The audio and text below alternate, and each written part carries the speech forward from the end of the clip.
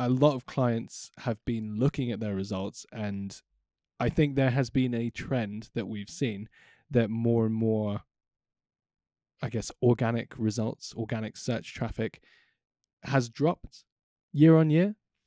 Uh, and a lot of question marks have been raised by a lot of clients asking us why. Why are we seeing less traffic to what we seen last year? We're doing a lot of work. We're working really hard, and so not in all cases, but definitely in some cases we are seeing that there is this sort of fluctuation in in traffic year on year. Is that something that you've seen in some of the clients that you're working? Yeah, de- definitely. Yeah, def- definitely a few. Um, and again, it there seems to be a certain, as as there usually is with updates, a, a larger impact on some than others. Um, and again, this isn't widespread um, at all, but certainly those uh, your money or your life type uh, clients are are the ones that are seemingly uh, more heavily impacted than those that maybe aren't don't operate in those um, in those areas. So yeah, I think that's I think that's fair to say. Um, I think yeah, that's as you say, your money or your life. I think there's uh, an element around the EAT, so the E E A T, uh, expertise. What's the other E? I've completely forgotten it. experience, Experience, thank you. expertise, Authority, trust. It's you get one of the E's, but you can't remember the Yeah, other one. yeah. Um, so experience, expertise, authority, and trust. Um, and it's really, I think, the websites that we're seeing are websites with a lot of content and a lot of pages are being hit more, more so than any other website. So essentially, the more content that you've got on your website, the more likely it is that you're ultimately going to be impacted by some of the updates that have taken place. So, I guess to kind of we've been dancing around, I guess, a bit of this topic of what is the state of SEO, uh, and the state really is just that we've had a lot of updates recently. Mm. Um, so I'm just looking here at a list. We've got there's an August core update. There was the helpful content update that happened in September last year. October core update. The November 2023 reviews update. The November 2023 core update. And then we've recently, and we're kind of in the middle of, or right at the tail end of the March core update, which is happening in March 2024. So the basically all of these updates are happening, and I guess the question is, what does this even mean? what are we hmm. talking about when we're saying that there are core updates? Um, and essentially, it's Google is reviewing the way that it is ranking the the web pages that it's indexing in its search engine. Is that fair to say? Yeah, I think so. So there are there are I can't remember the specific um the specific uh, name for it, but obviously Google has a set of guidelines that it adheres to to make sure that you know it is constantly serving up the most relevant result based on the intent of a specific search term that users might be uh, that users are using, um, and that's you know billions per day kind of thing. I don't think it's um, a hyperbole to say that. Uh, you know, it probably is that that figure across the world. Could be more. It could be more. Could be trillions, Yeah, um, gajillions. Um, we can make up numbers. we that's can make fine. it. Yeah. so um, yeah. So this is the, that's essentially what it what it relates to. That that those se- se- search ratings and how Google uh, determines which content should essentially appear at the top uh, for any given search term. So yeah, I think that's yeah, that's a fair assumption. And you, like you said, there are sort of have been six or seven quite significant updates in the past 12 months and then even before that we had you know the helpful content update phase one type of thing so there's been there has been a lot over the past 12 to 18 months that um, you know us seos need to be aware of because it keeps us on our little seo toes Well, exactly. And it's really just a case that all of these updates are, as you mentioned, there's the helpful content update. That was kind of the first almost domino that was Google is having a really, I guess, like close look at the content that everyone is pushing out and, you know, trying to rank their websites using and ultimately trying to find the best content that answers any given query that's out there. And so if somebody's searching for something on Google with any given query, the results that people want to see are going to be the yeah, the the results that best answer that given query.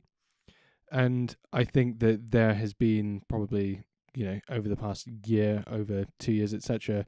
You know the history of content on the internet, people recognizing that this is a search query and this is good enough to answer that search query. Where now Google's digging a little deeper into that and trying to understand, okay, this is the search query. What is the best possible answer to for any any given query?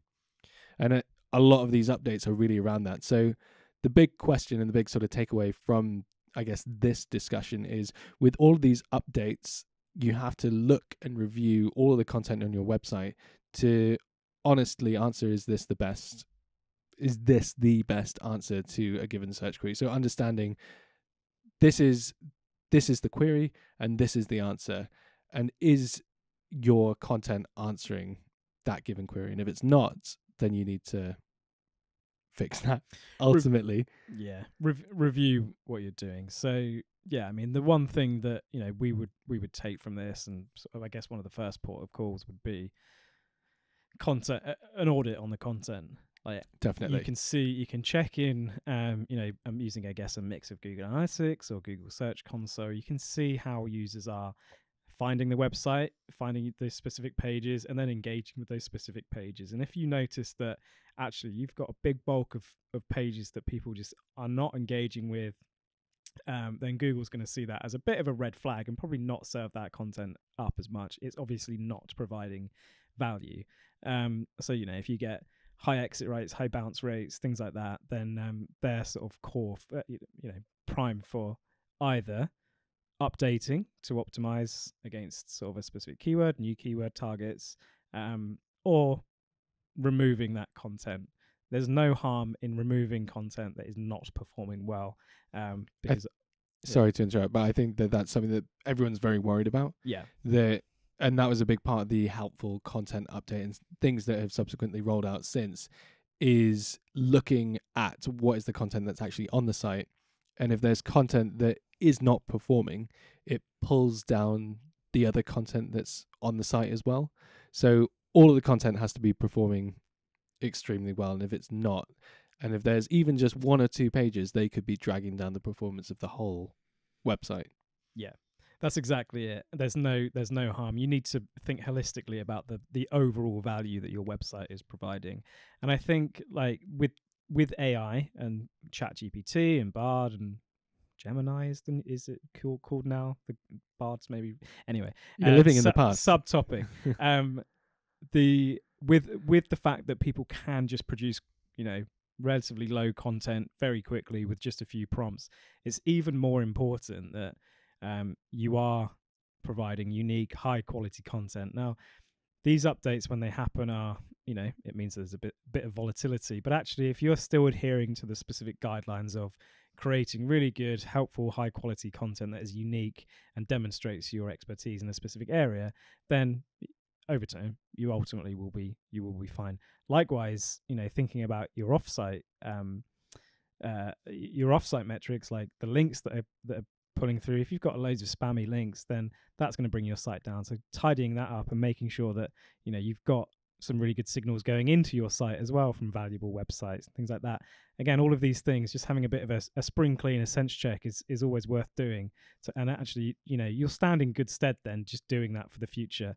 Yes there will be fluctuations but ultimately in the in the long term you should be you should be fine. So you know ultimately these things are good to be aware of um but ultim- but the best practices still mean that you will be you should be fine in the long run i think Yeah, and I guess to sort of wrap this up, uh, we'd love to hear from you if you feel like you've been impacted by any of these recent updates.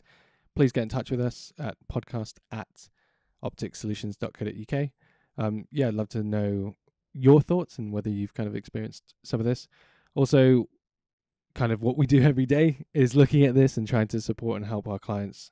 So, if you would like some advice, if you would like to know how to perform some kind of a content audit, um, this could be done through the academy, or you can just reach out to us and we can give you a hand. So, Mm.